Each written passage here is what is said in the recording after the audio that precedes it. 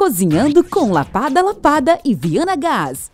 galerinha, vou passar para vocês hoje a receita da espanhola, que aqui no Brasil seria estilo um omelete, mas que leva batata e ovos. Primeiramente tem que, eu peguei 500 gramas de batata, duas cebolas mediana, dois ovos, sal a gosto, vai precisar de uma frigideira depois que vai fazer e óleo. Eu vou fazer ele com óleo é, frito, mas também se pode fazer ele estilo cozido, que seria mais sal.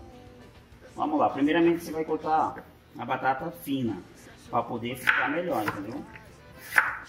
E a cebola, cortar a cebola. Nós vamos agora, eu vou cortar ele já seguiremos com o vídeo. Já coloquei para fritar, aí logo já mostrarei o ponto certinho para vocês, tá?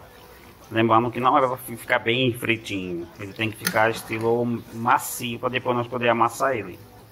Aí o ponto seria este, que já está frito e ele já está mole para poder ser amassado. Eu vou colocar aqui no escorredor para ele escorrer um pouco o óleo.